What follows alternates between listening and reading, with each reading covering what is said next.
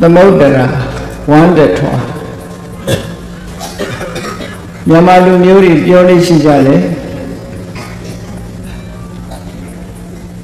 ဝမ်းတထွာတဲ့ဖြည့်တင်းရတဲ့ပမာဏဟာပင်လယ်ကြီးတစ်ခုကိုဖြည့်ရတယ်လို့ပဲဘယ်တော့မှမပြည့်နိုင်ဘူးပင်လယ်ကြီးလိုကျေပြတ်နေလို့ ပင်လယ်ကြီးထဲမှာရေချောင်းအင်းအန်တွေကဝင်လာတဲ့ရေတွေနဲ့ဘယ်လိုပဲဖြစ်တင်ဖြစ်တင်ပင်လယ်ကြီးဟာပြည့်သွားတယ်လို့မရှိဘူးဒါကြောင့်မလို့လူဘဝရောက်လာတဲ့လူသားတွေအနေနဲ့လည်းနေ့စဉ်နဲ့ညအစာအာဟာရတွေစားကြတရက်လည်းမပြီးနိုင်နှစ်ရက်လည်းမပြီးနိုင် တစ်သက်လုံးဖြစ်တင်းပြီးတော့နေကြလို့လူတွေရဲ့တထွားတမိုက်လောက်ရှိတဲ့ဝမ်းပိုက်လေးဟာပင်လေကြီးလောက်ဖြစ်တင်းရခက်ပါလားလို့ဆိုတဲ့အဓိပ္ပာယ်နဲ့သမုဒ္ဒရာဝမ်းတထွားလို့ဆိုကြတာပေါ့ရသော်ဘုရားကယခုလို အာဟာရနဲ့ပတ်သက်ပြီးတော့ဖြစ်တင်းရမှုတွေနဲ့ပတ်သက်လာတဲ့အခါမှာကမ္မထမ်း40ထဲမှာနှလုံးသွင်းဆင်ញင်ရမယ်ကမ္မထမ်းတစ်ခုဖြစ်လည်းပဲအာဟာရီပฏิကူလတင်ညာလို့ဆိုတဲ့အစာအာဟာရနဲ့ပတ်သက်ပြီးတော့စိတ်ဆက်ဆက်ဆုပ်ရန်ရှာဝယ်ကောင်းတဲ့အခြေအနေတွေကိုရှုမြင်သုံးသပ်ဖို့အမတ်တင်ညာတွေထားကြဖို့ဆိုပြီးတော့ ဆုံးမဩဝါဒပေးတဲ့ဆုံးမဩဝါဒပေးတော်မူခဲ့တာဖြစ်တယ်ကမ္မထမ်း40ထဲမှာကမ္မထမ်းတစ်ခုဖြစ်အဲ့ဒီထဲမှာလည်းအာဟာရပฏิကူလတင်ညာလို့ဆိုတာသမုဒ္ဒရာဝမ်းတထွာအကြောင်းလည်းပဲပါတာပဲဘယ်တော့မှမပြည့်နိုင်တဲ့ဝမ်းပိုက်တစ်ခုကိုဖြစ်တင်းမှု နေ့စဉ်နဲ့ညလောက်ကင်ဆောင်ရွက်ပြီးတော့နေကြတယ်အဲ့ဒီလောက်ကင်ဆောင်ရွက်နေမှုတွေဟာပြီးနိုင်သလားဆိုတော့ဘယ်တော့မှမပြီးဘူးပြည့်စုံသွားကြလားလို့ဆိုဘယ်တော့မှလည်းမပြည့်စုံဒါဖြင့်မိမိတို့ဝမ်းရည်ဖြစ်တင်းမှုအတွက်လူတွေက40နဲ့ပြစီးပွားဥစ္စာတွေရှာကြရ အလုပ်တွေလုပ်ကြရတယ်နှုတ်နဲ့ပြောပြီးလုပ်တယ်ကုရိလက်ရောက်လှုပ်ကိုင်လှုပ်ရှားပြီးတော့လေပစ္စည်းဥစ္စာတွေရှာဝေကြတယ်အဓိကပါလဲလို့ဆိုဝမ်းရည်ဖြစ်တင်းမှုပဲဒါကိုအသက်မွေးဝမ်းကြောင်းလို့ခေါ်တယ်ပေါ့အဲ့ဒီလိုအသက်မွေးဝမ်းကြောင်းလုပ်တဲ့အခါမှာကောင်းတဲ့အနေထားနဲ့ကြည့်လုံးကြတာမဟုတ်ဘူးမကောင်းတဲ့ အနေထားနဲ့လည်းလုံးကြသည့်အတွက်ကြောင့်သမုဒ္ဒရာဝမ်းတထွာဖြစ်တင်းမှုအတွက်အကုသိုလ်တွေလည်းဖြစ်ပွားကြတယ်ပေါ့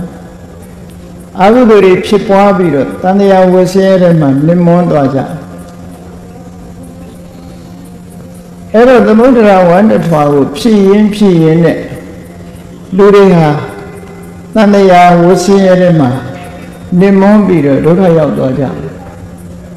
ဒီတော့ကိုလည်းဆင်ញင်စဉ်းစားပြီးတော့ကြည့်ဖို့လို့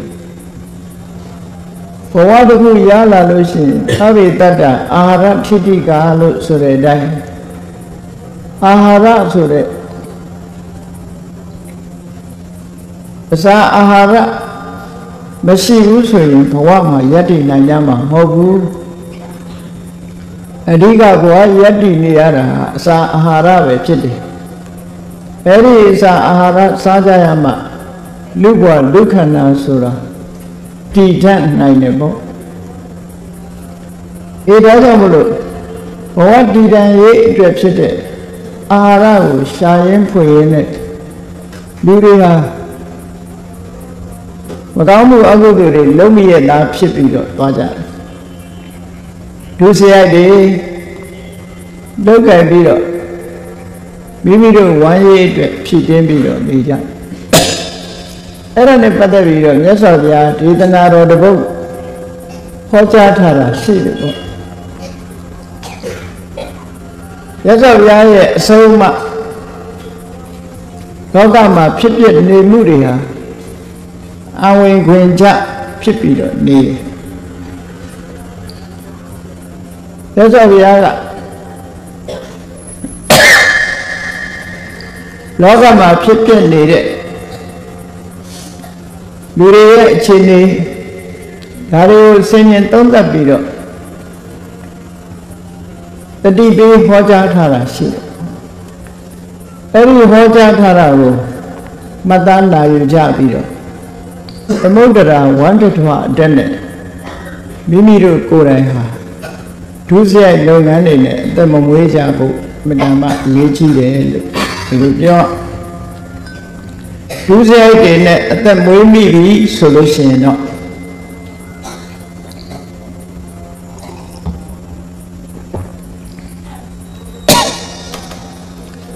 သမုဒ္ဒရာဝန္တထွားအတက်နဲ့ဒုက္ခတွေနစ်မွန်းသွားကြမှာအဲ့ဒါလို့အသက်မွေးတဲ့အခါမှာ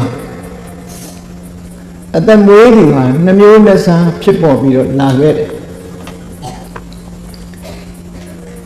ရသော်ဘုရားရဲ့ဒေသနာတော်အရပြောရမယ်ဆိုရင်သူစီဝံအဟိရိကေန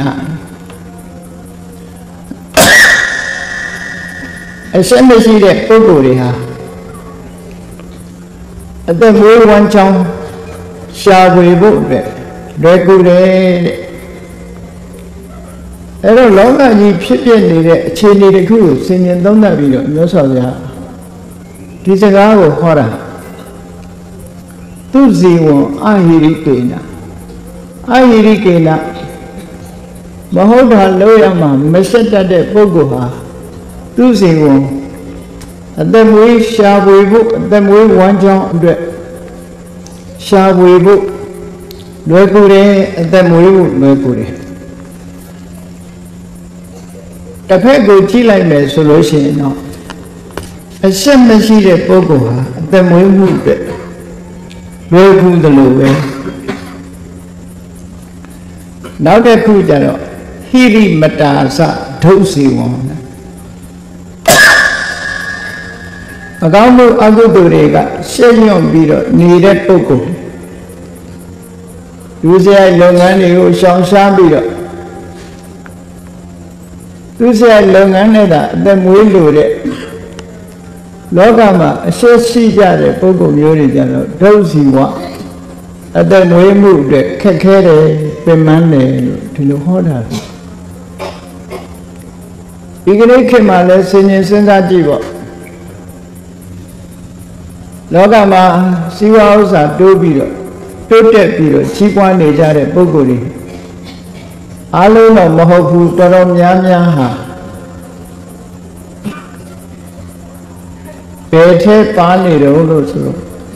အဟိရိကလို့ဆိုတဲ့မဟုတ်တာမလုပ်မဟုတ်တာလုပ်ရမှာမဆက်တဲ့ပုဂ္ဂိုလ်တွေအတိုင်းဝိုင်းထဲမှာဝင်နေဝင်နေသည့်အတွက်ကြောင့်ဒီကနေ့လူတွေအသက်ရှင်မှုအတွက်အရေးကြီးတဲ့ အစာအာဟာရတွေဆေးဝါးတွေအသုံးဆောင်တွေကစလို့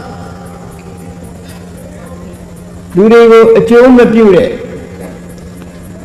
လူတွေဒုက္ခရောက်နိုင်တဲ့အရာမျိုးတွေထည့်သွင်းပြီးတော့အစစ်မှန်မဟုတ်တဲ့အတုအယောင်တွေနဲ့ပစ္စည်းဥစ္စာတွေကိုဖြန့်ချီထုတ်လုပ်ရောင်းဝယ်နေကြတဲ့ပုဂ္ဂိုလ်တွေဟာ ကြီးပွားနေကြတယ်မြတ်စွာဘုရားရှုမြင်သုံးတတ်တဲ့အတိုင်းပဲမမကန်ကန်ရောင်းဝယ်လို့တဲ့ပုဂ္ဂိုလ်တွေပစ္စည်းမမှန်ဈေးမမှန်နဲ့ရောင်းဝယ်လို့တဲ့ပုဂ္ဂိုလ်တွေအသက်မွေးဝမ်းကြောင်းပြုဖို့ရခက်လာမမမကန်လုံးတဲ့ပုဂ္ဂိုလ်တွေကရှေ့တန်းရောက်လာတယ်လို့ဒီလိုဆိုရမှာ မြတ်စွာဘုရားကိုယ်တိုင်ကလည်းဒီတိုင်းဟောခဲ့တာလေသူစီဝန်အဟိရိကေနအရှက်မဲ့တဲ့ပုဂ္ဂိုလ်တွေအရှက်မဲ့တယ်ဆိုတာဘာလဲမကောင်းတဲ့အလုပ်လုပ်အောင်မှမရှက်ဘူးဒုစရိုက်နဲ့အသက်မွေးရမှာမရှက်ဘူးဘဒုသေးသေးငတေမှာပြီးရောဆိုတဲ့စိတ်ဓာတ်နဲ့မိမိကြီးပွားနေပြီးရောတခြားသူတွေဘာဖြစ်ဖြစ်ဆိုတဲ့ အနေအထားမျိုးနဲ့ဆေးဆိုလဲအတုလုပ်တယ်စားတော့ကုန်တွေလည်းအတုလုပ်တယ်ပစ္စည်းဥစ္စာတွေလည်းအတုလုပ်ပြီးတော့စားသုံးတဲ့ပုဂ္ဂိုလ်တွေကိုကောင်းကျိုးမဖြစ်စေရုံရမကဆိုးကျိုးကိုဖြစ်စေတတ်တာလေးနဲ့အသက်မွေးနေတဲ့ပုဂ္ဂိုလ်တွေရဲ့အခြေအနေကိုဆင်ញင်သုံးသပ်ကြည့်ပေါ့အဲ့ဒါလို့အသက်မွေးတဲ့ထဲမှာကိုမပါဖို့အရေးကြီးတယ်ပေါ့ လောကမှာသမုဒ္ဒရာဝန္တထွာလေးဖြည့်ဖို့ရအတွက်ဒုစရိုက်နဲ့အသက်မွေးပြီဆိုလို့ရှိရင်တော့ဝမ်းတထွာလေးပြည့်မယ်လို့ထင်ပြီးတော့ကြိုးစားလိုက်တာနဲ့ပြည့်လာမဲ့ဟာကတော့တန်လျာတဲ့နစ်မောမဲ့ဆင်းရဲဒုက္ခလေးတာဖြစ်တယ်ပေါ့ဝမ်းတဝမ်းတထွာဖြည့်ဖို့ဆိုတာတော့ ဘဝတစ်ခုရလာလို့ရှိရင်တေဒီအထိဖြည့်နေကြမှာပဲဘို့တော်လည်းသေဒီအထိဖြည့်နေရတာကိုမြန်မြန်ဖြည့်ခြင်းလို့ဆိုတဲ့အနေအထားမျိုးနဲ့မမမကန်နဲ့စီးပွားရေးတွေပြုလုပ်ပြီးတော့ဒုစရိုက်လုပ်ငန်းနဲ့အသက်မွေးမယ်ဆိုလို့ရှိရင်ကတော့ဝမ်းတထွာမပြည့်ပဲနဲ့ ဒုစရိုက်အကုသိုလ်တွေနဲ့ပြည့်ပြီးတဏှာဆိုတဲ့ပင်လယ်ကြီးထဲမှာနေမွန်းပြီးတော့အပင်ငရဲကနေပြီးတော့ဘယ်တော့မှတက်လာနိုင်မှာမဟုတ်ဘူးလို့ဒီလိုဆိုနိုင်တာပေါ့နော်လောကမှာအသက်မွေးမှုခြောင်ပြီးတော့စီးပွားရေးလမ်းဖြောင်းနေတဲ့ပုံကိုယ်တွေဟာဘယ်လိုပုံကိုယ်တွေလဲ ကြီးပွားတိုးတက်ဖို့ခက်ခဲနေတဲ့ပုံကိုယ်တွေကဘယ်လိုပုံကိုယ်တွေလဲရေတွေကဒီနှစ်ခုကိုနှိုင်းရှင်ပြီးတော့မြတ်စွာဘုရားကအဓိကဥတည်ချက်ကတော့ယဟန်တော်တွေကိုဥတည်ပြီးတော့ဟောထားတဲ့ဒေသနာတော်နှစ်ပုဒ်ပဲဘယ်တော့လဲကမ္ဘာလောကမှာရှိတဲ့လူသားတွေအလုံးနဲ့သက်ဆိုင်တယ်ပေါ့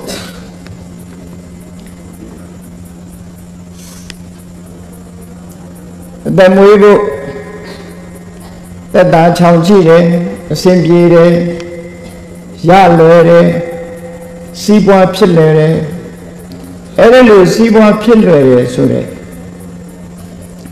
အရာတွေဟာဘာကြောင့်ဖြစ်လာရသလဲဆိုတော့မြတ်စွာဘုရားကကြီးပွားတိုးတက်လွယ်တဲ့ပုံကိုယ်တွေဟာဘာကြောင့်ကြီးပွားတိုးတက်တယ်လဲအကုန်လုံးကိုပြောတာမဟုတ်ဘူးရေကုန်ရခြုံပြီးတော့ဟောတဲ့စကား ရေကုန်ရဆိုဒီမှာဒါခိုင်နှုံးပြောတာနော်လူတိုင်းလူတိုင်းကမကောင်းတဲ့နည်းနဲ့စီးပွားရှာနေကြတာမဟုတ်ဘူးကောင်းတဲ့နည်းနဲ့စီးပွားရှာတဲ့ပုံကိုယ်တွေလည်းရှိတယ်ဟိုတော့ရေရရလို့ဆိုတဲ့ဇာခိုင်နှုံးနဲ့တွဲကြည့်ပြီးတော့ပြောတဲ့အခါကျတော့မြတ်စွာဘုရားကဟောထားတယ်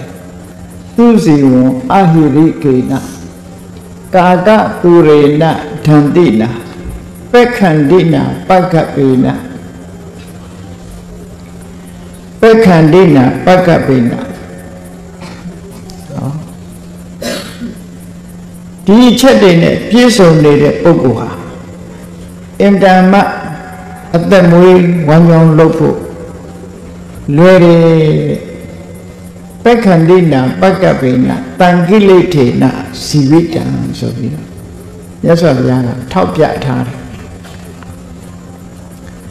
အေးမဟုတ်တာလောကမှာမရှက်ဘူးဆိုတဲ့အဟိရိကဒီလိုပုဂ္ဂိုလ်တွေဟာအတမွေးဝမ်းကြောင်းပစ္စည်းဥစ္စာရှာဖွေဖို့ရလွယ်တယ်အလွယ်ကူနဲ့ချီးပွားတိုးတက်တယ်ဒီလိုဆိုတာ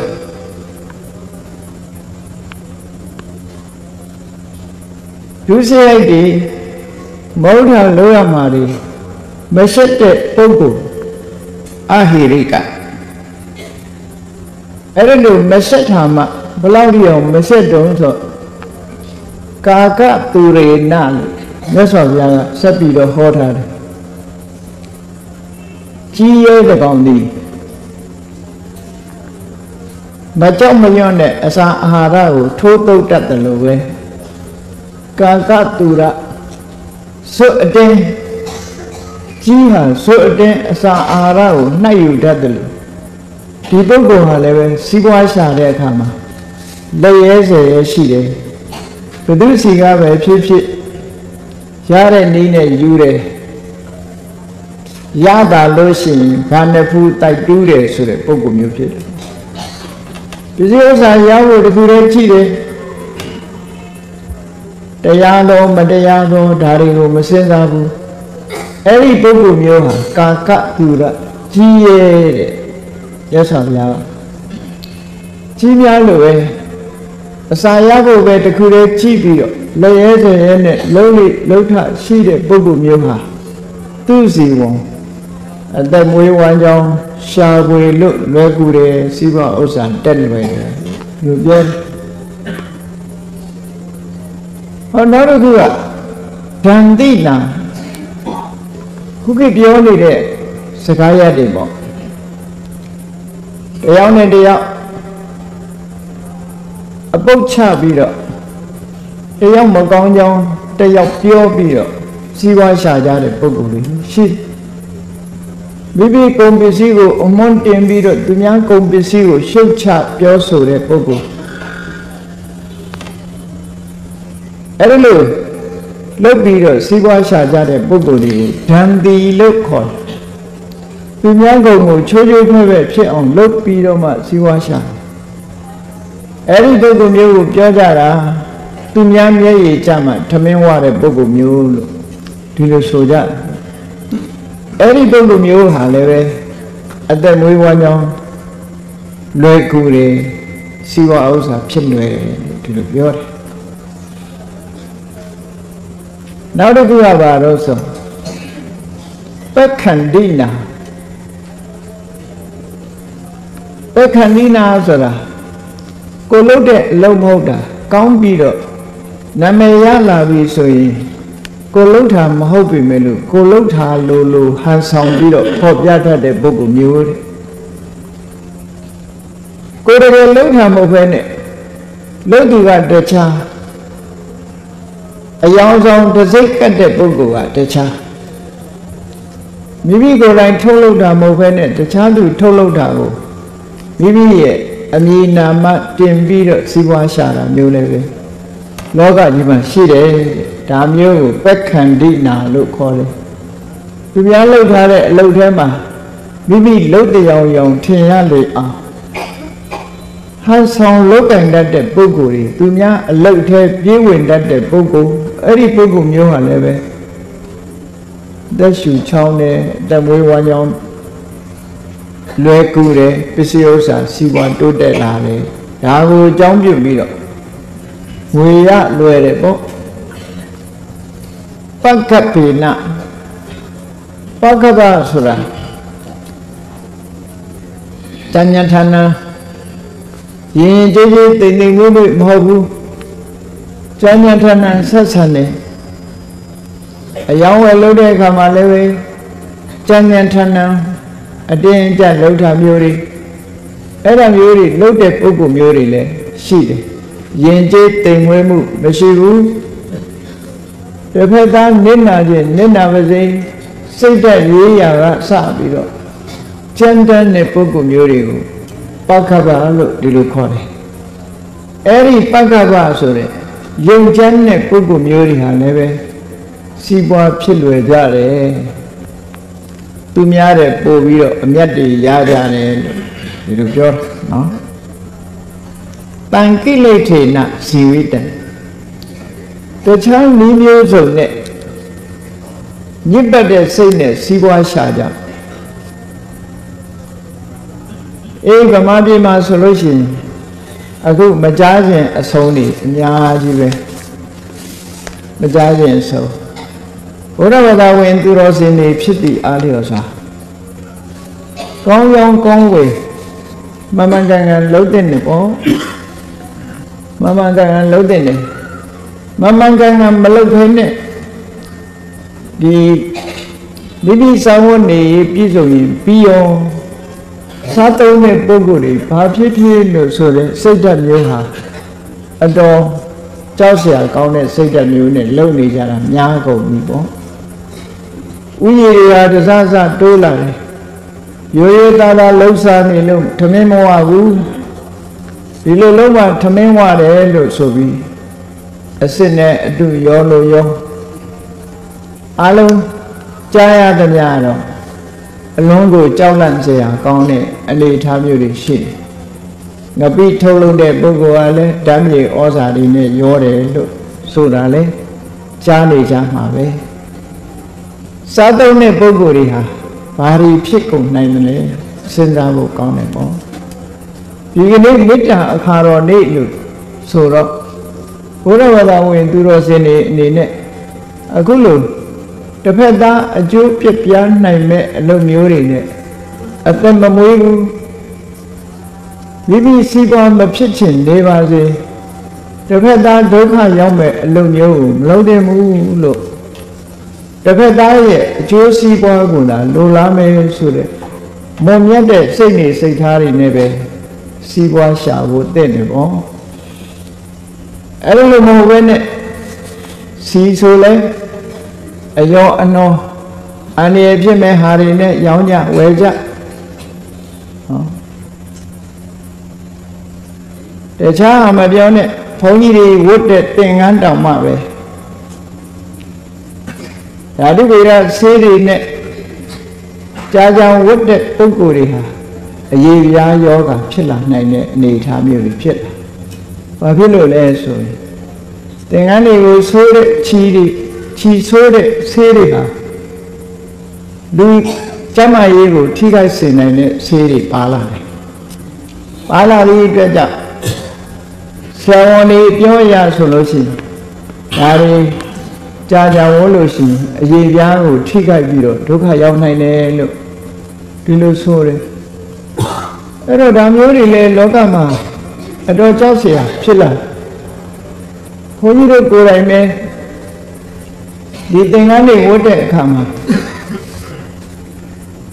တယ်လီဖုန်းဟက်ဆက်ကလေးအဖြူရောင်လေးကင်တာတဖြည်းဖြည်းအဝါဖြစ်သွား။ဘာဖြစ်လို့ဝါသွားတယ်လဲလို့ဆိုရင် ဝတ်တဲ့သင်္ကန်းကနေကျွတ်ပြီးတော့လက်ဆွဲလက်ကနေပြီးတော့တယ်လီဖုန်းဟက်ဆက်ကိုအယောင်ပြောင်းသွားစေချွတ်လို့မရတော့။ဟောဒီလိုဖြစ်တယ်။အဲ့တော့ရိုးရိုးအယောင်ဆိုလို့ရှိရင်အကြောင်းမဟုတ်ဘူးလူရဲ့အရေးကိုအရေးပြားကို ထိခိုက်စေတတ်တဲ့ဓာတုတွေကဆေးမျိုးတွေဆိုလို့ရှိရင် နောက်ထပ်ယောဂရဖို့ရှိလာပြီယောဂရဖို့ရှိအစာအာဟာရတွေနဲ့ပတ်သက်လာလို့ရှိရင်လေစားဝတ်စရာမရှိတော့တဲ့အနေအထားမျိုးရောက်လာတယ်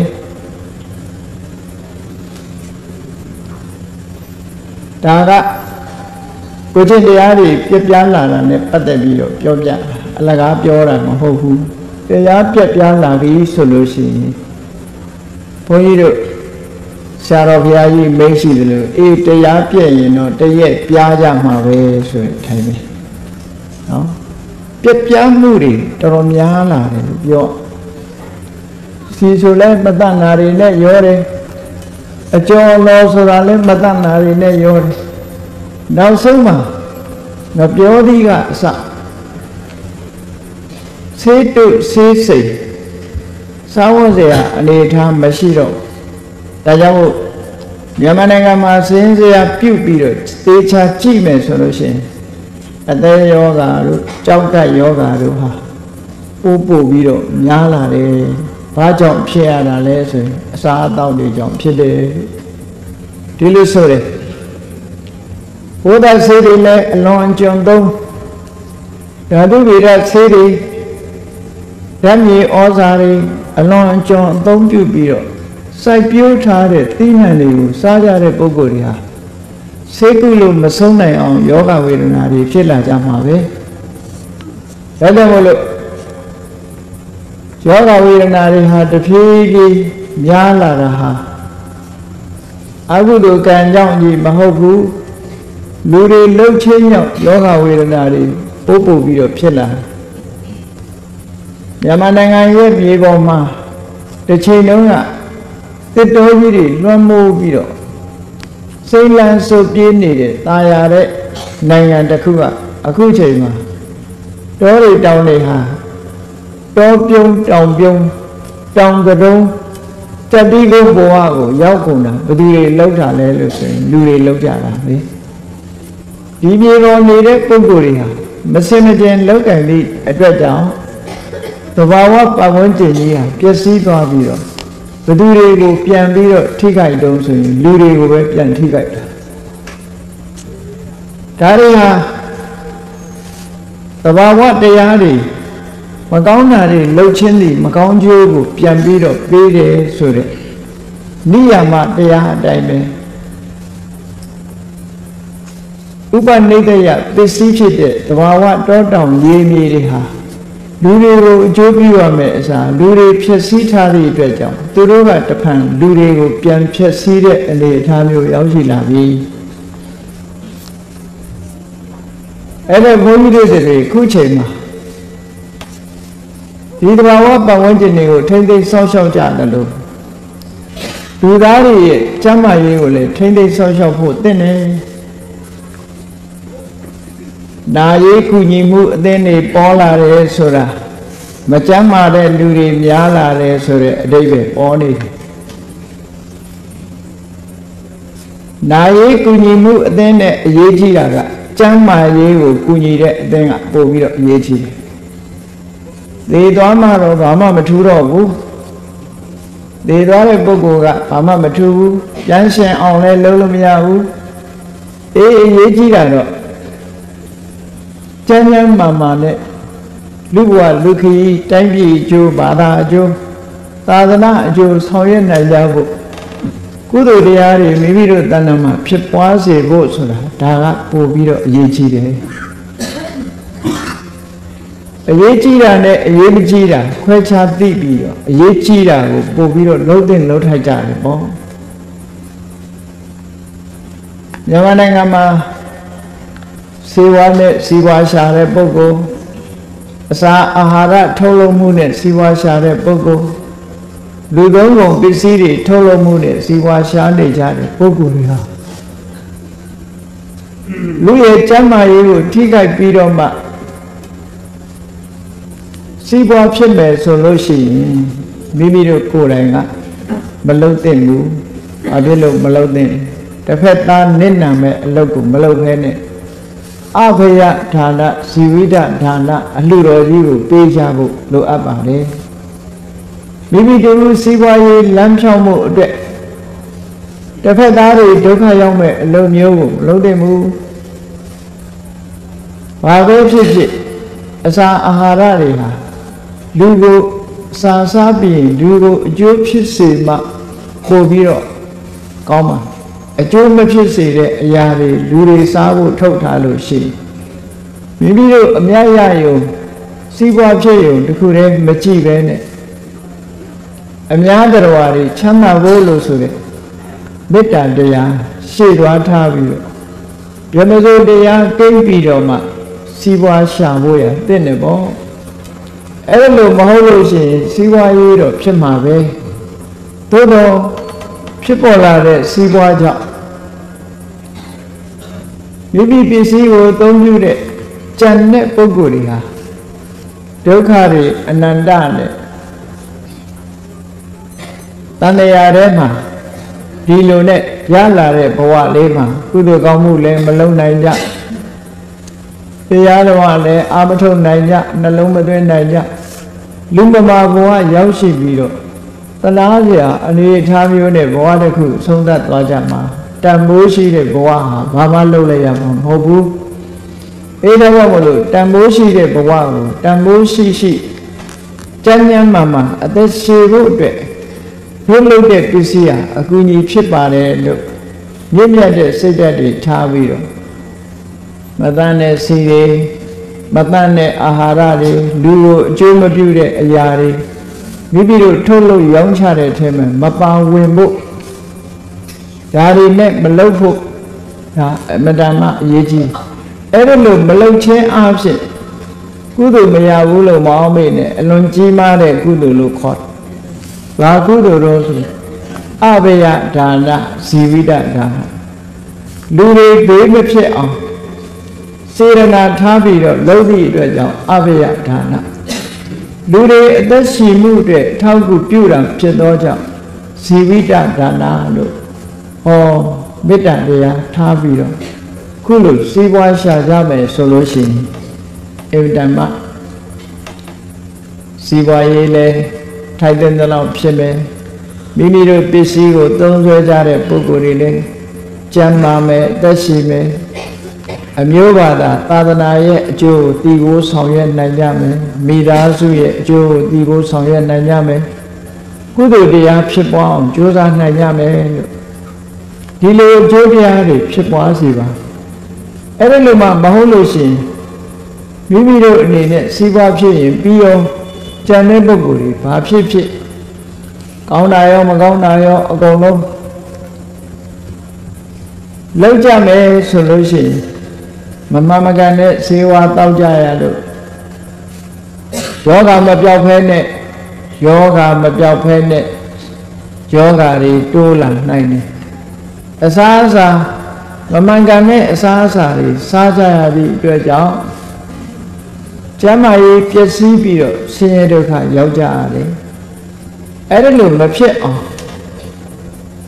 လူတိုင်းလူတိုင်းဟာမေတ္တာစေရနာထားပြီးတော့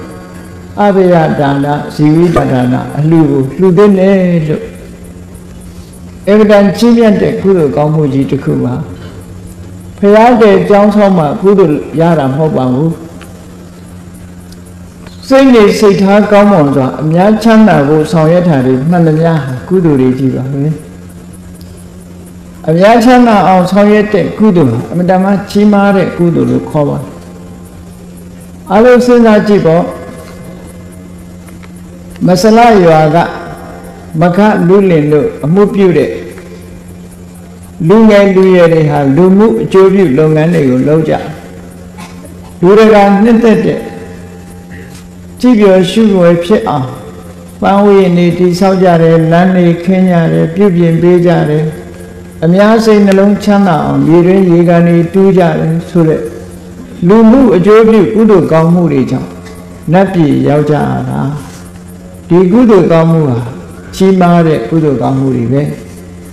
အေးဒါကြောင့်မို့လို့မိမိတို့စီးပွားရှာကြတဲ့အခါမှာမြည်သူပဲဖြစ်ဖြစ်ကိုရှာတဲ့စီးပွားရေးကိုကိုယ့်အကူဆင်ញင်သုံးသပ်ပြီးတော့တို့ရှာတဲ့စီးပွားရေးကိုအကြောင်းပြုပြီးတော့ဘယ်သူမှမထိခိုက်ပါစေနဲ့ကျမ်းမာရေးကိုလည်းမထိခိုက်ပါစေနဲ့စီးပွားရေးကိုလည်းမထိခိုက်ပါစေနဲ့ ပညာရေးကိုလည်းမထိခိုက်ပါစေနဲ့မှန်မှန်ကန်ကန်ထုတ်ထုတ်လိုက်တဲ့ပစ္စည်းကိုစားသုံးကြရတဲ့ပုဂ္ဂိုလ်တွေဟာစိတ်ချမ်းသာကိုယ်ချမ်းသာကျမ်းကျမ်းမှန်မှန်ပျော်ရွှင်စွာနဲ့လူဘဝကောင်းကျိုးတွေကိုဆောင်ရွက်နိုင်ကြပါစေဆိုတဲ့ဒီမေတ္တာထားလိုက်မယ်ဆိုရင်အဘယဒါနစီဝိတဒါနအလှတော်ကြီးကိုနေ့စဉ်ပေးလူနေတာပဲဖြစ်တယ်ပေါ့အလုံးမွန်မြတ်ပါလေ ဒါကြောင့်မို့ဘုရားဘာသာနိုင်ငံအနေနဲ့မမှန်ကန်တဲ့ပစ္စည်းတွေထုတ်လုပ်ရောင်းချခြင်းဟာခိုးခြင်း25ပါးထဲမှာပါဝင်နေတာဖြစ်လို့ဘုရားဘာသာဝင်တွေအနေနဲ့ရှောင်ကျင်ကြရမှာဖြစ်တယ်ပေါ့ခိုးခြင်း25မျိုးဆိုတာအတုလုပ်ပြီးခိုးတာလဲခိုးတာပါပဲအစစ်တဲကိုအတုရောပြီးခိုးတာလဲခိုးတာပဲအဲဒါကြောင့်မို့လို့ ဒါမျိုးတွေဟာမလုံးနဲ့မလုံးထိုက်တဲ့အရာတွေဖြစ်လို့အကုသိုလ်တွေမိမိတို့အတွက်အကုသိုလ်တွေဟာတပုံတစ်ခေါင်းကြီးအကုသိုလ်တွေဝင်လာပြီးနောက်ဆုံးမှာပင်လယ်ထဲသွားတဲ့လေပေါ်မှာအစမတန်ကြောက်တုံးတွေတင်လို့ရှိရင်အဲ့ဒီလေသင်းမောဟာနစ်မြုပ်သွားနိုင်တယ်လို့ပဲအကုသိုလ်တွေအစမတန်နေစဉ်နဲ့အမျှစီး ပွားရှာရင်အကုသိုလ်တွေလောက်လာလို့ရှိရင်ဘဝတန်တရားမှာနစ်မြုပ်သွားနိုင်တယ်လို့ဆိုတာကိုသတိထားကြဖို့ပေါ့မိမိတို့ကိုယ်တိုင်မှန်မှန်ကန်ကန်အသက်မွေးဝမ်းကြောင်းမှုပြုခြင်းဖြင့်တစ်ဖက်သားကိုများစွာအကျိုးပြုစေအကျိုးပြုနိုင်တယ်အေးဒါကြောင့်မို့လို့မြတ်စွာဘုရားဟောထားတဲ့ဒီဒေသနာတော်ထဲမှာသမုဒ္ဒရာဝန္တထွာကိုဖြစ်ကျွင်းတဲ့ပုဂ္ဂိုလ်နှမျိုးရှိတယ်ထင်မယ် မကောင်းတဲ့အမျိုးအစားဘာလို့မကောင်းတဲ့အမျိုးအစားဖြစ်တဲ့ပုဂ္ဂိုလ်တွေဟာစီးပွားဖြစ်လွယ်တယ်ဘယ်လိုပုဂ္ဂိုလ်မျိုးတွေလဲအဟိရိကေနသူစီပါမကောင်းမှုဒုစရိုက်ကိုလုံးဝမဆက်ဘူးမကောင်းမှုလုံးဝမှမယုံဘူးမဆက်ဆုပ်ဘူးမကောင်းတဲ့နည်းနဲ့အသက်မွေးရမှာမကြောက်ရွံ့ဘူးဆိုတဲ့ပုဂ္ဂိုလ်တွေဟာအသက်မွေးဝမ်းကြောင်းအတွက်လွယ်ကူတယ်တဲ့ ခုမြန်မာနိုင်ငံမှာဆိုလို့ရှိရင်မူရစ်ဆေးဝါးဆိုတာလေအလွန်ကြီးမားတဲ့အန္တရာယ်ကြီးတစ်ခုဖြစ်တာလွန်ကြီးမားတဲ့အန္တရာယ်ကြီးဖြစ်တာမြန်မာလူမျိုးတွေရဲ့နောက်ဆက်မျိုးဆက်တစ်ကလေးတွေဟာမူရစ်ဆေးဝါးထဲမှာနေမွန်းသွားမယ်ဆိုလို့ရှိရင်မြန်မာလူမျိုးတွေရဲ့မျိုးဆက်တွေဟာကြောက်ရွံ့စရာကောင်းတဲ့အနေအထားမျိုးထိအောင်ရောက်ရှိသွားနိုင်တယ်ပေါ့ဒါကြောင့်မို့ ဒါတွေလဲဝိုင်းဝန်းပြီးတော့ဆောင်ရွက်တဲ့ဆောင်ရွက်ထိုက်တယ်ဒီအလုပ်တွေကိုတာမန်အလုပ်တွေလို့မအောင်မေ့လေနဲ့ကြီးမားတဲ့ကုသိုလ်ကောင်းမှုအလုပ်တွေဖြစ်ပါအမျိုးဘာသာသာသနာဆောင်းလျှောက်တဲ့လုပ်ငန်းဟာလည်းကြီးမားတဲ့ကုသိုလ်အလုပ်တွေဖြစ်ပါစီးပွားရှာတဲ့အခါမှာလဲမှန်ကန်တဲ့နည်းနဲ့စီးပွားရှာပြီးတော့အများချမ်းသာဖို့အတွက်လောက်ကင်ဆောင်ရွက်မှုဟာလဲအများကောင်းရုပ်ဆောင်ရွက်ခြင်းဖြစ်ပါ မေတ္တာတရားအခြေခံပြီးတော့စီးပွားရှာကြရမှာပေါ့အဲ့ဒီမှာစီးပွားဖြစ်ရုံတစ်ခုတည်းသာကြီးတတ်တဲ့ပုဂ္ဂိုလ်တွေဟာအဟိရိကမဟုတ်တဲ့အလုံးနဲ့အသက်မွေးရမှာမရှက်တဲ့ပုဂ္ဂိုလ်မျိုးသူစီဝန်အဟိရိကေကာကပုရေနဓန္တိနာကြီးရဲလို့လက်ရဲဆယ်ရဲရှိတဲ့ပုဂ္ဂိုလ်မျိုးတွေ အသက်မွေးဝမ်းကြောင်းလွယ်တယ်သူတစ်ပါးကုံကိုချိုးနှိမ်ပြီးတော့အထက်တက်လာတဲ့ပုဂ္ဂိုလ်တွေနော်အများကိုနင်းပြီးတော့တက်တယ်ဆိုတဲ့ပုဂ္ဂိုလ်မျိုးတွေအဲ့ဒီလိုတစ်ဖက်သားကိုပြက်လို့ပြက်စီးလုပ်ပြီးတော့မိမိရဲ့ကိုယ်ကျိုးကိုရှာတဲ့ပုဂ္ဂိုလ်မျိုးတွေအသက်မွေးဝမ်းကြောင်းအတွက်လဲတယ်တဲ့သူများကောင်းတာတွေလှုပ်ထားတာကိုကိုယ်အလုပ်ရောင်ဆောင်ပြီးတော့ သူများအလုပ်ကိုကိုယ်အလုပ်ဖြစ်အောင်ဟန်ဆောင်တတ်တဲ့ပုဂ္ဂိုလ်မျိုးတွေလည်းပဲအသက်မွေးဝမ်းကြောင်းလွယ်တယ်တဲ့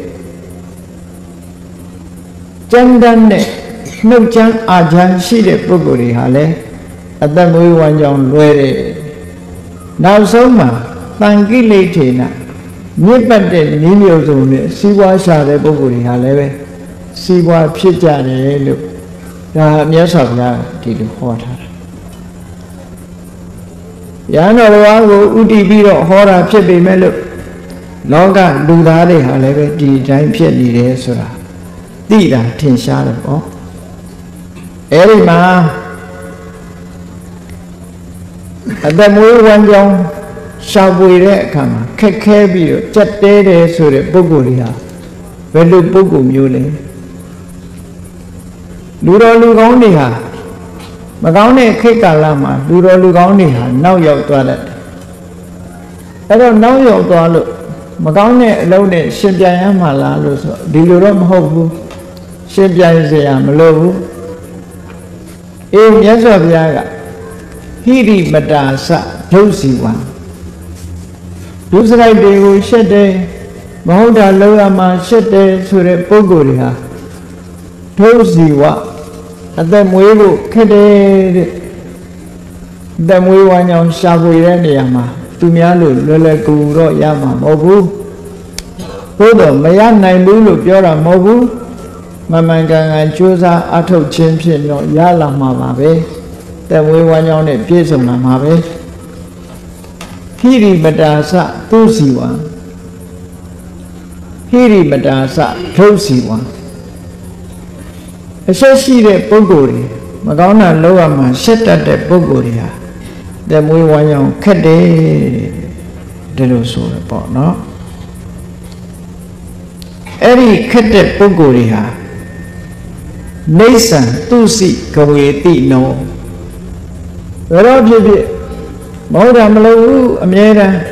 သူစိကဝေတိစင်ကြယ်မှုကိုရှာတယ် ဟုတ်တာနဲ့အသက်မမွေးဘူးမှန်ကန်တဲ့အရာနဲ့သာအသက်မွေးတယ်အဲ့ဒါလို့မမှန်ကန်ကန်စင်စင်ကြယ်ကြယ်အသက်မွေးတဲ့ပုဂ္ဂိုလ်မျိုးတွေဟာ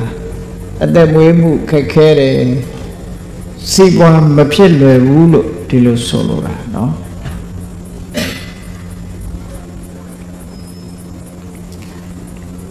နောက်တစ်ခုကဘာလဲလို့ဆိုရင် အလီနေနကြွေကြွစားစားအထောရတယ်မကောင်းတဲ့အလုပ်နဲ့ပတ်သက်ပြီးတော့နောက်တော့နာမျိုးတွေမရှိဘူးအလီနတွန့်တူဆုံးနေမှုမရှိဘူးရရောတဲ့သဘောတွေရှိတယ်အပက္ခကတန်တန်တဲ့စိတ်နှလုံးမရှိဘူး ကိုမူရာနှုတ်မူရာမတန်တန်မှုသိမ်မွေးတယ်မမှန်ကန်ကန်လှုပ်တဲ့စိတ်တော်ရာကောင်းတယ်ဆိုတဲ့ပုံကူမျိုးတွေဟာလေအသက်မွေးဝမ်းကြောင်းရှာဖွေတဲ့နေရာမှာအခက်ခဲရှိတယ်ဒီလိုဆိုလိုတာပေါ့နော်ခက်ခဲရှိတယ်သုဒ္ဓါစီဝေနပတ္တတံကိုယ်သမွေးတဲ့လမ်းကြောင်းနဲ့ပတ်သက်လာလို့ရှိရင် စင်ကြယ်တန်ရှင်းတဲ့လီလန်းနဲ့အသမွေးတယ်အဲ့ဒီစင်ကြယ်တန်ရှင်းတဲ့ရိုးရိုးအေးအေးမှန်မှန်ကန်ကန်အသက်မွေးတဲ့ပုဂ္ဂိုလ်မျိုးတွေဟာဒုစီဝအသက်မွေးမှုခက်တယ်လို့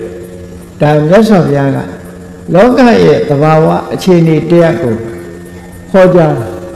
အဲ့ဒီလိုဟောကြားတဲ့အခါမှာအသက်မွေးမှုလွယ်ခြင်းလို့ရှိရင်မဟုတ်တာလုံးကြလို့ပြောတာမဟုတ်ဘူး လောကကြီးရဲ့သဘာဝကိုရှင်းပြတာလောကကြီးမှာမဟုတ်တာလုံးတဲ့သူကကြီးပွားပြီးဟုတ်တာလုံးတဲ့ပုဂ္ဂိုလ်ကအောက်ကြနောက်ကြဖြစ်နေတယ်ဒီလိုဆိုလိုတာပေါ့အဲ့ဒါလောကကြီးရဲ့ကမောက်ကမဖြစ်နေကုန်အခြေအနေကိုပြောပြအဲ့တော့လောကကြီးကဘယ်လိုပဲကမောက်ကမဖြစ်စေခါမူမဟုတ်တာလုံးလို့ကြီးပွားတဲ့ပုဂ္ဂိုလ်ဟာတခဏမြတာဖြစ်ပြီးတော့မှန်မှန်ကန်ကန် ကြီးပွားဖို့အတွက်ရုန်းကန်နေရတဲ့ပုဂ္ဂိုလ်ဟာရုန်းကန်နေရတော့လည်းပဲသူ့ဖို့မှာ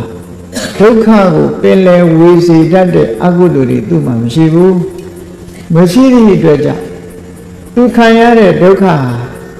တခဏမြတာခံရတဲ့ဒုက္ခမျိုးသာဖြစ်တယ်ထာဝရကြတော့မေတ္တာစေရနာတွေအရင်ခံပြီးတော့လှုပ်သည့်အတွက်ကြောင့်အဘယဒါန မိမိပစ္စည်းကိုစားသုံးတဲ့ပုဂ္ဂိုလ်တွေဘေးကင်းကြပါစေစီဝိတဒါနမိမိပစ္စည်းကိုသုံးပြုတဲ့ပုဂ္ဂိုလ်တွေအသက်ရှင်ကြပါစေဆိုတဲ့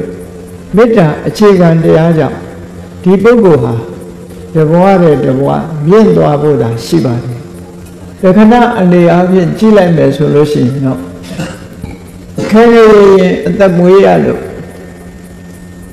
ဒီဘဝမှာနှိမ့်ကြကြောင်ရုံရှိတော်လည်းပဲနောင်ဘဝအဆက်ဆက်မှာမြင့်သွားမယ်ပုဂ္ဂိုလ်တွေအေးဘဝမတရားအသက်မွေးတဲ့ပုဂ္ဂိုလ်တွေကြတော့ဒီဘဝမှာလောလောလောလောနဲ့စီးပွားဥစ္စာတွေတိုးတက်လာပြီမဲ့လို့မကြခင်မှာပဲအကုသိုလ်တွေအကျိုးပေးလို့ဆင်းရဲဒုက္ခတွေထဲမှာနစ်မွန်းသွားနိုင်တယ်ဒီသဘောတရားကိုလည်းပဲဆင်ញင်သုံးသပ်ကြည့်ပြီးတော့ဘုန်းကြီးတို့တွေဟာ ဘုရားရဲ့တတိတာဝကတွေဖြစ်သည့်အားလျော်စွာယဟန်တန်ဃာတွေလည်းယဟန်တန်ဃာတွေအနေနဲ့လူကြောင်တွေလည်းလူကြောင်တွေအနေနဲ့မှန်ကန်တဲ့နည်းနဲ့အသက်မွေးကြဖို့အရေးကြီးတယ်။ရဟန်းတော်တွေအနေနဲ့ပြောမယ်ဆိုလို့ရှိရင်ဒီဒေသနာဟောပြောတဲ့ဟောပြောရခြင်းအကြောင်းရင်းဖြစ်တဲ့ ရဟန်းတော်တစ်ပါးဟာရှင်သာရိပုတ္တရာရဲ့တပည့်တာဝကတဦးဖြစ်တယ်။သူ့ရဲ့အမည်နာမကိုသုလတာရီလို့ဖော်ပြထားတာရှိတယ်အဲ့ဒီသုလတာရီဆိုတဲ့ကိုတော်စေပညာအတက်ကလေးကိုတက်တယ်တက်သည့်အတွက်ကြောင့်ဘာလုပ်လဲမကြမ်းပါတဲ့ပုဂ္ဂိုလ်တွေကိုပစ္စည်းရလို့မှုနဲ့ဆေးဘဝကယူပြီးတော့ဆေးကုတယ် ဆေးကုလို့ရလာတဲ့ပစ္စည်းဥစ္စာတွေနဲ့အသက်မွေးတယ်လူတွေဆိုလို့ရှိရင်ဆေးကုပြီးအသက်မွေးတာမကောင်းတဲ့အသက်မွေးမှုမဟုတ်ဘူးစိတ်ထားတတ်လို့ရှိရင်မြင့်မြတ်တဲ့အသက်မွေးမှုတော့ဖြစ်တယ်ဘို့တော့ယဟန်တော်တွေအနေနဲ့ဆေးကုပြီးအသက်မွေးပြီဆိုလို့ရှိရင် မမှန်ကန်တဲ့အသက်မွေးမှုလို့ဒီလိုခေါ်တယ်မိစ္ဆာအာဇီဝမှားရတဲ့အသက်မွေးမှုလို့ပြောတာယဟန်တော်ဟာတွေရဲ့အသက်မွေးမှုဟာတဲ့အိဒဆုံးဆုံးခံပြီးတော့ရလာတဲ့အစာအာဟာရပေါ်မှာမိကိုပြီးတော့အသက်မွေးတာတရားဓမ္မတွေတရားစစ်စစ်နဲ့လှူတဲ့အလူဒါနကိုအလူခံပြီးတော့အသက်မွေးတာဒါရဟန္တာရဟန်းတော်တွေပုတ်ဒီဖြစ် မှန်ကန်တဲ့အသက်မွေးမှုတမ္မာအာဇီဝလို့ခေါ်တယ်အဲ့ဒါလို့မဟုတ်ဘဲနဲ့ဆေးကုလို့ယောဂဝေဒနာပျောက်သွားတဲ့တရားဓမ္မတွေကကျေးဇူးတင်ပြီးတော့ချောင်းဆောင်လှူတယ်သင်္ကန်းလှူတယ်ဆွမ်းကွမ်းတွေလှူတယ်ဆိုတဲ့ဒီလိုသူ့ရဲ့လှူဒန်းမှုတွေကျောင်းဆောင်လှူတာလဲတရားနဲ့မဟုတ်ဘူးစေကုပေးလို့လှူတာသင်္ကန်းလှူတာလဲတရားနဲ့လှူတာမဟုတ်ဘူး စေကုပေးတယ်ဆိုတဲ့အကြောင်းကြောင့်လှူတယ်တခြားပစ္စည်းတွေလှူတယ်ဆိုတာလဲပဲစေကုပေးတယ်ဆိုတဲ့အနေထားနဲ့လှူတာတရားနဲ့လှူတာမဟုတ်ဘူးကံကံဤကျိုးကိုယုံကြည်လို့လှူတဲ့အလှူကမှတရားနဲ့လှူတယ်လို့ဒီလိုဆိုလိုတယ်အေးတရားဓမ္မတွေရဲ့တရားတရားဟာပျက်စီးသွားတယ်လို့ဒီလိုဆိုတယ်အဲ့ဒါလို့စိတ်ကုခြင်းဗေဒင်ဟောခြင်း တခြားနိလန်းတွေနဲ့ဘုန်းကြီးတွေစီးပွားရှာမယ်ဆိုလို့ရှိရင်မှားယွင်းတဲ့စီးပွားရှာနည်းသွမ်းသင်္ကန်းကြောင်းစေးဆိုတဲ့ပစ္စည်းလေးပါးဟာမှန်ကန်သောလမ်းနီလန်းနဲ့သာရတဲ့နဲ့မှန်ကန်တဲ့နီလန်းမဟုတ်ပဲနဲ့စေကုခြင်းတရားတော်ကတွေမြောက်ပင့်ပေါင်းတင်ဆက်ဆံခြင်းမကြည်ညိုကြည်ညိုအောင်လှုပ်ခြင်း ဝေရင်ဟောခြင်းစတဲ့နီးတွေနဲ့ရလာတဲ့ပစ္စည်းတွေဟာဗုဒ္ဓပฏิကုဋ္ဌမြတ်စွာဘုရားကိုယ်တိုင်ကဆက်ဆုပ်တယ်ဒီနီးနဲ့အသက်မွေးတာဟာရဟန်းတော်တွေအတွက်မှားယွင်းတဲ့အသက်မွေးမှုဖြစ်တယ်ပေါ့အဲ့လိုလိုအသက်မွေးတဲ့ပုဂ္ဂိုလ်ဟာဘယ်လိုပုဂ္ဂိုလ်မျိုးလို့ဆိုအဟိရိကဒုစရိုက်နဲ့အသက်မွေးရမှာမဆက်တဲ့ပုဂ္ဂိုလ်မျိုးဖြစ်တယ်ပေါ့အဲ့ဒီပုဂ္ဂိုလ်မျိုးတွေဖြစ်လာလို့ရှိရင် ဒါကဒီယဟန်အတွက်နစ်မွန်းဖို့ပဲဖြစ်တယ်ပေါ့ထို့တူပဲလောကမှာလူတွေမမမကန်နဲ့နေနဲ့စီးပွားရှာပြီဆိုလို့ရှိရင်ခိုးခြင်း25ပါးတဲ့အပါဝင်ဖြစ်တဲ့အဋ္ဌိနာဒါနတွင်တွင်ကြီးလုံးနေသည့်အတွက်ကြောင့်ထိုပုဂ္ဂိုလ်ရဲ့စီးပွားတက်မှုသည်မှန်ကန်တဲ့လေးလန်းနဲ့စီးပွားတက်လာတာမဟုတ်ဘူး တမ္မာအာဇီဝမဟုတ်ဘူးမိစ္ဆာအာဇီဝနဲ့စီးပွားရှာတာဖြစ်သောကြောင့်ဒိဋ္ဌိနဲ့အမြအကုသိုလ်တွေပဲရနေတယ်စီးပွားရှာတာကိုအကြောင်းပြုပြီးတော့အကုသိုလ်တွေဖြစ်နေတယ်ဒီလိုဆိုတာပေါ့နော်အဲ့တော့ရှင်သာရိပုတ္တရာရဲ့တပည့်တစ်ပါးဖြစ်တဲ့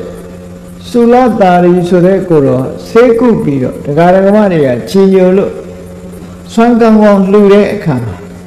ရှင်သာရိပုတ္တရာကိုသွားလှူတဲ့အဗဒံကောင်းမြတ်တဲ့တန်ဖိုးကြီးတဲ့အရသာရှိတဲ့အစာအာဟာရကိုရှင်သာရိပုတ္တရာလှူပြီးတော့ဘာပြောတော့ဆိုဒီမုံမြတ်တဲ့ဘောဇင်ဟာသူဆေးကုလို့ရတာဖြစ်တယ်ပေါ့အရှင်ဘုရားကိုတပည့်တော်ချီးညိုတယ်လေးစားတယ်ဒါကြောင့်မို့လို့ တစ်သက်လုံးတပည့်တော်ကဆေးကုပြီးတော့လှုပ်ကျွေးပါမယ်လို့ရှင်သာရိပုတ္တရာကိုသူကလျှောက်တယ်ရှင်သာရိပုတ္တရာကကောင်းတဲ့ဆိုတဲ့မပြောတော့ဘူးသူ့ကိုအဖက်လုပ်ပြီးတော့တောင်းစကားမပြောတော့ဘဲနဲ့ဘယ်ရာကိုမှငဲကွက်ခြင်းမရှိစွန့်ပစ်ပြီးတော့ရှင်သာရိပုတ္တရာမထေရဆွမ်းကံမဲ့ကြွသွားတယ်သူပြောတာတွေတခုမှလက်မခံဘူးဒီလိုဆိုလိုတာပေါ့နော်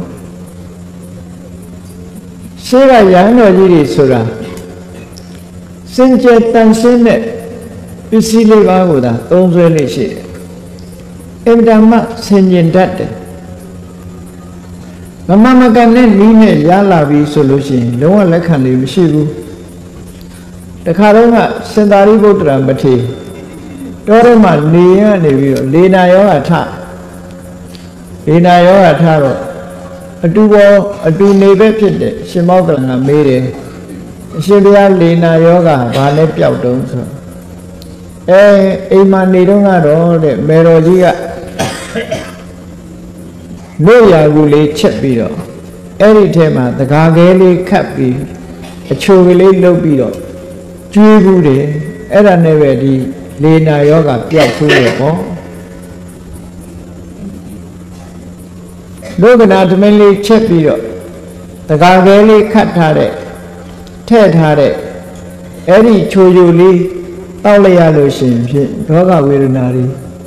လေနာယောဂတွေပျောက်သွားဘူးတယ်လို့နှစ်ပါးဒီလိုပြောကြအဲ့ဒါလိုပြောတော့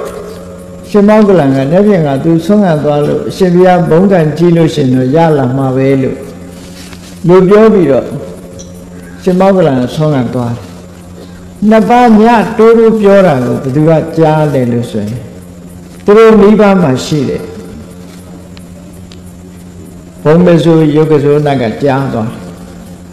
ကြားသွားတဲ့အခါဘာလုပ်တုံးဆိုလို့ရှိရင်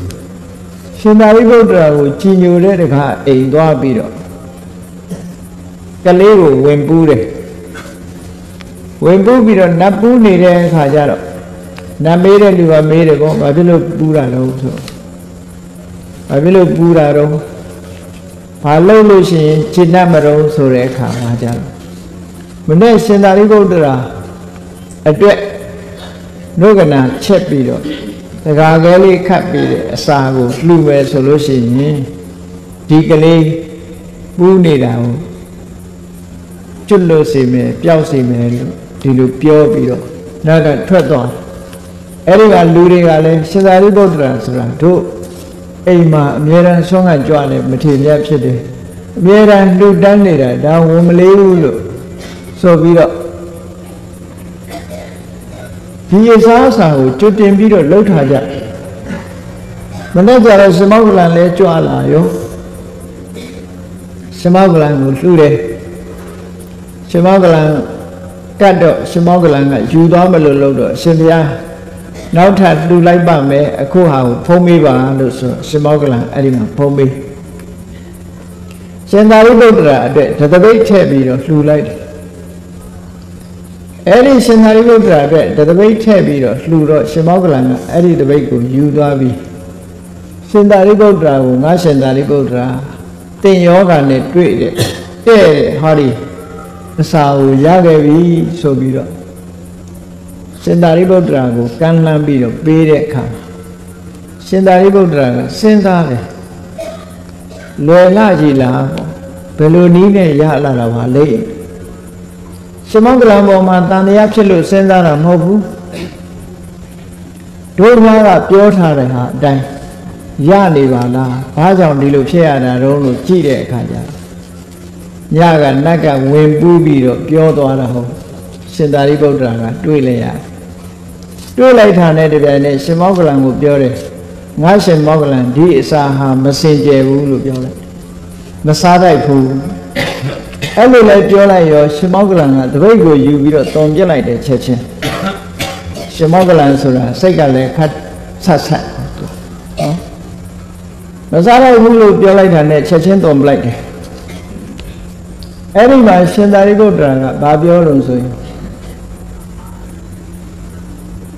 သူ့ဝမ်းပိုက်ထဲမှာရှိလို့ရှိတဲ့ဥရိဟာလေနာယောဂကြောင့်ပြတ်ချင်ပြတ်ထွက်ပါစေအခုလို့မတန့်ရှင်းတဲ့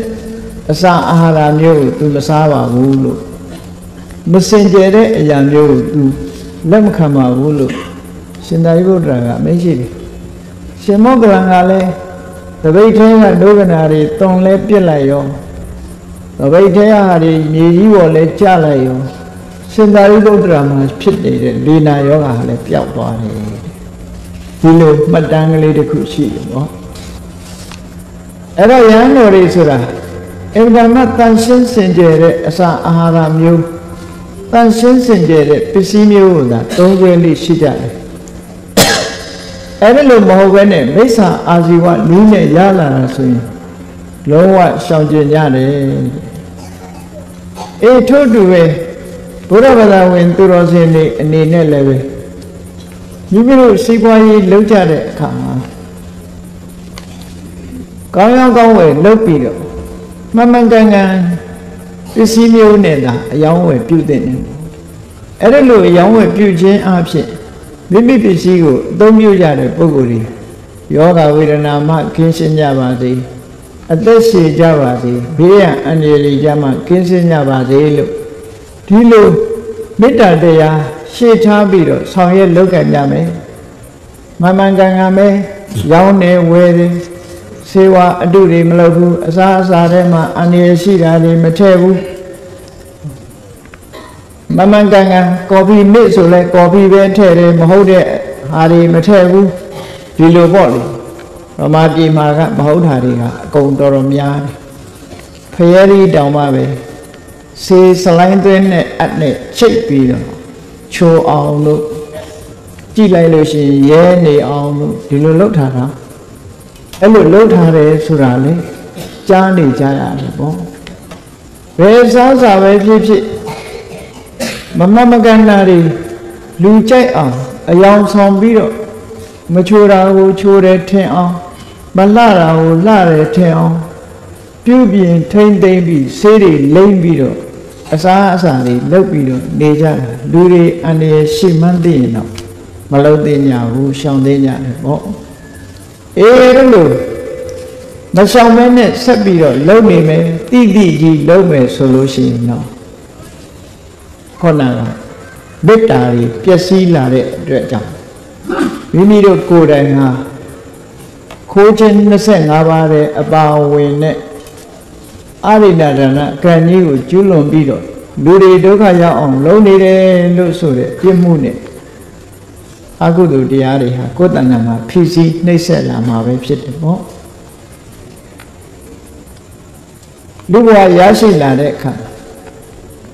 သမုဒ္ဒရာဝန္တထွာဖြစ်တင်းတဲ့အချက်အစာအာဟာရအနေနဲ့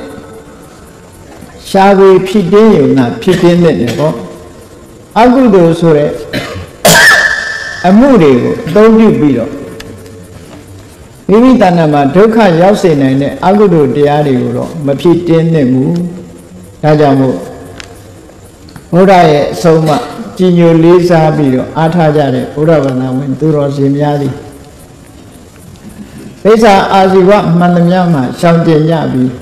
တမ္မာအာဇီဝနဲ့အသက်မွေးကြဖို့အမြဲတမ်းကောင်းတယ်ဆိုတာကို နာယုမတ်သားပြီးတမ္မာအာဇီဝဆိုတာမဂ္ဂင်၈ပါးထဲမှာသီလမဲ့ခင်ထဲမှာပါဝင်တဲ့တရားမြတ်ဖြစ်သည့်အတွက်ကြောင့်နိဗ္ဗာန်ကိုသွားရောက်တဲ့အခါမှာအရေးပါတဲ့နေရာကရှိတယ်ဆိုတာကိုယ်စီကိုယ်စီသဘောကျပြီသမ္မာအာဇီဝဖြင့်အသက်မွေးနိုင်အောင်ကြိုးစားအားထုတ်နိုင်ကြပါစေကုန်သတည်း Amén.